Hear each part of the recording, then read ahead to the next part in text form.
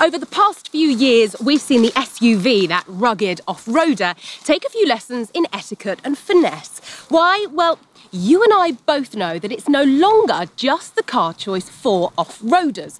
In fact, its market has become huge. And when you become the popular kid in town, you're not without your rivals. So has Mercedes run scared? No chance. They've just put on their game face and raised the bar. I'm Torie, your MB reporter, and this is the Mercedes-Benz GLC.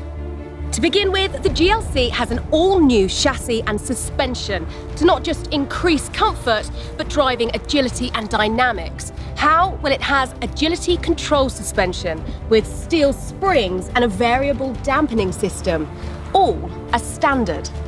As well as this, those models with the off-roader engineering package and the GLC 350e 4MATIC come with a 20mm higher driving position for increased clearance.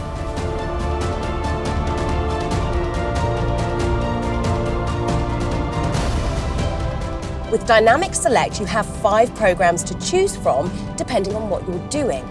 The Eco mode integrates a start-stop function and a sailing function to reduce fuel consumption. Comfort provides a comfort-orientated suspension and steering setup. Sport is characterised by agility and driving pleasure, while with the Sport Plus mode, the powertrain reacts spontaneously to dynamic load changes.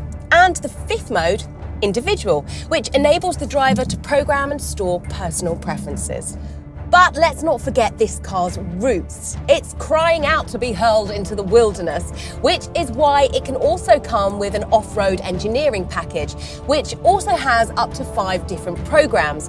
Off-road, incline, slippery, rocking assist and trailer. All of which will be absolutely wasted on this road.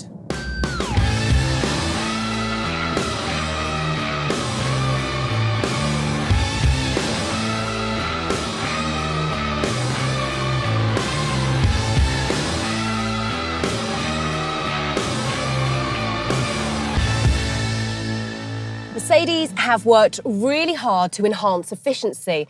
In fact, CO2 emissions have been reduced by comparison to previous models by 19% in diesel and by 12% in petrol. This has been achieved by various drive systems and a much lighter weight design. But this is the really impressive bit. With the GLC 350e 4MATIC, Mercedes-Benz is offering it as a fully plug-in hybrid, the first in its segment with all-wheel drive and those pretty damn good off-roader skills. It can also do just over 30 kilometres in zero-emission all-electric mode.